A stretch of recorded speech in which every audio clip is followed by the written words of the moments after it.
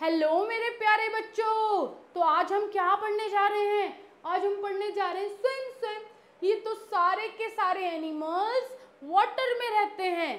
सब पानी के अंदर रहते हैं। तो यहाँ कुछ वर्ड्स दिए हुए हैं, उल्टे सीधे वर्ड्स तो उनको सीधा सीधा हमें करेक्ट करना है।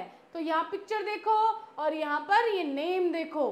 दोनों को समझ के, पहले ये पिक्चर देखो कौन से एनिमल की है और फिर यहाँ पे जो वर्ड दिया गया है, उसको करेक्ट करके यहाँ लिखना है।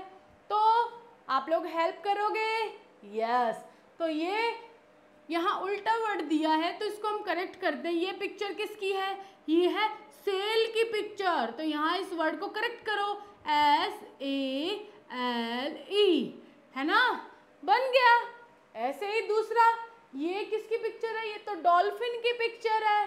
तो इसको हम यहाँ करेक्ट कर लेते हैं। D O L P H I N dolphin बन गया। और ये कौन सी पिक्चर है? ये कौन सा एनिमल है? ये है केकड़ा क्रैब क्रैब तो यहाँ लिख दो सी आर ए बी ठीक है? फिर ये कौन सा है? ये भी पानी में रहता है। सी होर्स तो इनको करेक्ट करके लिखो। सी सी होर्स ठीक है? ये पिक्चर किसकी है? ये भी पानी में रहती है। स्टार फ़िश तो यहाँ करेक्ट करके लिखो। स्टार फ़िश ठीक है? फिर आ जाते हैं ये ये भी एक एनिमल है जो पानी में रहता है। ये क्या है? ऑक्टोपस इसके बहुत सारे पैर होते हैं। ऑक्टोपस ऑक्टोपस ठीक है? फिर आ जाओ, ये कौन है? टर्टल टर्टल ओके फिर ये कौन है? बहुत डेंजर होती है, बहुत बड़ी होती है। कौन है ये? शार्क।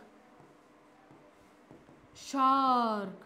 तो सबके वर्ड्स करेक्ट करके लिखने हैं आपको ओके नेक्स्ट है, ये कौन है? ये वेल बहुत बड़ी, खा जाती है। तो ये वेल वेल ये कौन है? प्यारी सी, छोटी सी, जल्दी देख के बताओ मुझे। Fish very good very good बेटा। तो यहाँ आप फ़िश लिख दो। तो ऐसे हमने सारे एनिमल्स वाटर एनिमल्स को करेक्ट कर लिया है, ठीक है?